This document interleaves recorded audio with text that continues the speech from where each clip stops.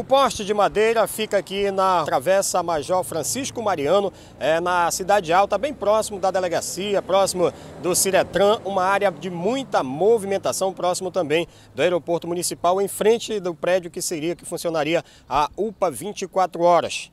Esse poste vem oferecendo risco para a população, quem passa aqui nesse local, já que é uma área de bastante movimentação, e ele vem oferecendo risco. Olha, o poste está prestes a cair. Conforme você observa, ele está todo podre, todo deteriorado já pela ação do tempo e é um porte de madeira. As pessoas que passam aqui pedem providência para que a concessionária de energia elétrica, a empresa terceirizada que presta esse serviço para a concessionária, possa passar aqui para fazer a retirada desse porte, a troca desse porte para um porte de concreto, porque esse porte aqui já não está aguentando mais. Você observa a situação em que ele se encontra, todo corroído, todo quebrado, deteriorado pela ação do tempo, realmente, olha, a gente vai chegar aqui mais próximo do porte que é uma situação, tá numa situação bem crítica, olha só, o pé aqui do porte está é, praticamente todo ruído, olha, tem cupim aqui em todo o porte, esses cupins vêm roendo esse porte. E a qualquer momento ele pode desabar, ainda mais com os constantes temporais que dá aqui em Monte Alegre, ventania muito forte quando chove e isso é um perigo para quem passa